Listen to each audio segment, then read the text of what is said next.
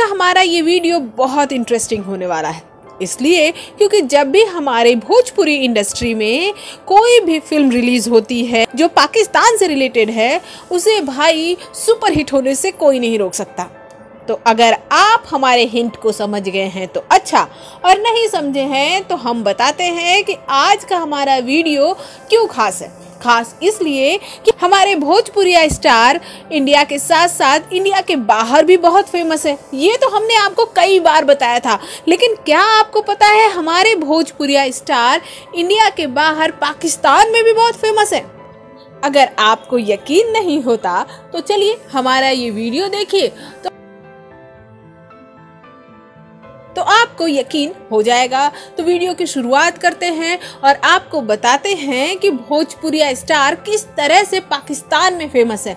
अब आप ये सोच रहे होंगे कि पाकिस्तान की तो लैंग्वेज भी भोजपुरी नहीं है। तो जनाब, हिंदी और भोजपुरी में ज़्यादा अंतर नहीं होता। ये हम नहीं कह रहे हैं, बल्कि पाकिस्तानी मीडिया कह रही है। उन्हें बकायदा भोजपुरी फ़िल्मों के ट्रेलर, भोजपुरी फ़िल्में सभी समझ में आती हैं और इन फ़िल्मों का रिव्यू तक वो करते हैं। हाँ अगर आपको हमारी बातों पर यकीन नहीं है तो आप YouTube पे सर्च कर लीजिए और सबसे ज़्यादा भोजपुरिया स्टार वहाँ कोई पसंद किया जाता है तो वो कोई और नहीं, पवन सिंह है।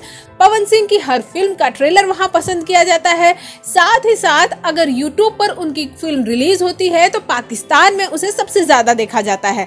तो चलिए बताते हैं पवन सिंह के साथ साथ और कौन कौन फ़ेमस है पाकिस्तान में। पवन सिंह की सत्या वांटेड धड़कन, गद्दार।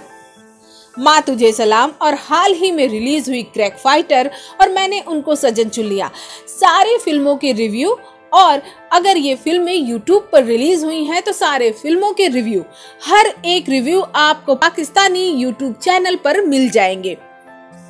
और इतने सटीक तरीके से वो रिव्यू करते हैं, ऐसा लगता ही नहीं है कि उन्हें भोजपुरी नहीं आती। और साथ ही साथ, भोजपुरी के सॉन्ग के साथ साथ, भोजपुरी फ़िल्मों के डायलॉग तक वो बकायदा बोल जाते हैं। ये सुन के आपको हैरानी होगी कि पाकिस्तानी जनता ये रिक्वेस्ट करती है कि भोजपुरी फ़िल्मों के रिव्यू किए जाए। जी हाँ ये हम नहीं कहते, ये खुद वहाँ के रिव्यू करने वाले यूट्यूबर कहते हैं। तो आपको बता दें कि पाकिस्तान में पवन सिंह के अलावा प्रदीप पांडे, चिंटू, दिनेश लाल यादव निरहुआ और खेसारी लाल यादव की फ़िल्मों को भी पसंद किया जाता है। साथ ही साथ एक छोटी सी फ़ैन फॉलोइंग रितेश पांडे भी पाकिस्तान में रखते हैं। आपको बता दें कि पाकिस्तानी आवाम सबसे ज़्यादा अगर पसंद करती है तो पवन सिंह की फ़िल्मों को और पवन सिंह के गानों को। यहाँ तक कि पवन सिंह के कई गाने पर वहाँ की जनता थिरकती हुई नज़र भी आती है। साथ ही साथ प्रदीप पांडे चिंटू दूसरे ऐसे अभिनेता है जो पाकिस्तान में बहुत पसंद किए जाते हैं। वैसे प्रदीप पांडे चिंटू की फ़िल्म दुल्हन चाहे पाकिस्तान से को काफ़ी पसंद किया गया था पाकिस्तान में। वैसे इन दिनों पाकिस्तान और हिंदुस्तान के हालात कुछ सही नज़र नहीं आ रहे हैं। इन दोनों के रिश्तों में काफ़ी कड़वाहट आ गई है। लेकिन फ़िल्म ही ऐसा ज़रिया रहा है जिसने इनकी कड़वाहट को हमेशा कम किया है।